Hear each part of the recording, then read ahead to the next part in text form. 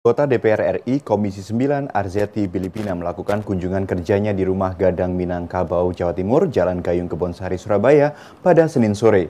Kunjungan tersebut dalam rangka sosialisasi pencegahan tindak pidana perdagangan manusia.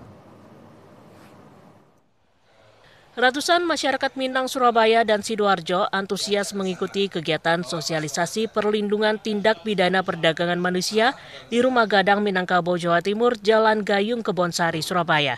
Sosialisasi ini diselenggarakan oleh anggota DPR RI Komisi 9 Arzeti Bilbina bekerja sama dengan Badan Perlindungan Pekerja Migran Indonesia BP2MI Jawa Timur. Sosialisasi ini merupakan salah satu bagian untuk menambah wawasan kepada masyarakat yang akan bekerja ke luar negeri yang aman dan nyaman dari permasalahan hukum. Dan juga bertujuan untuk meningkatkan kesadaran masyarakat tentang bahaya perdagangan orang serta memberikan informasi tentang pencegahan yang dapat diambil oleh setiap individu. Sosialisasi ini mendatangkan narasumber dari Badan Perlindungan Pekerja Migran Indonesia Jawa Timur, Kuntar Sabara, dan dihadiri oleh Mama dan Bundo Kandung Kebuminang Jatim. Kuntar Sabara menyampaikan banyaknya pekerja migran Indonesia yang berangkat secara non-prosedur oleh oknum dan pada akhirnya mengalami banyak masalah di negara di tempat bekerja. Anggota DPR RI Komisi 9 Arzeti Bilbina mengatakan, permasalahan pekerja migran Indonesia perlu adanya upaya sinergitas dari pemerintah pusat dan pemerintah daerah untuk melakukan pencegahan dan menangani permasalahan pekerja migran Indonesia. Selain itu, Zalan Aswari yang berprofesi sebagai pengacara mengatakan, oknum yang membekingi sindikat bisnis perdagangan orang dapat diberikan hukuman yang lebih berat.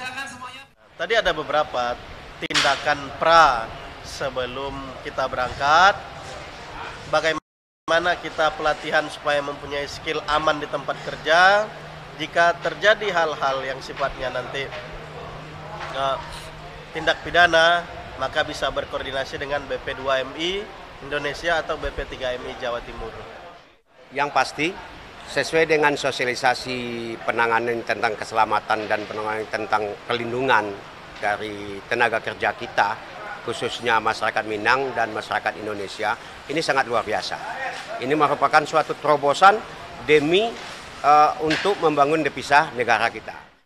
Salan Aswar berharap kegiatan sosialisasi ini perlu adanya kerjasama Gebu Minang dengan BP2MI Jatim sehingga dapat menambah wawasan maupun pengetahuan masyarakat, terutama masyarakat Minang yang ada di Jawa Timur.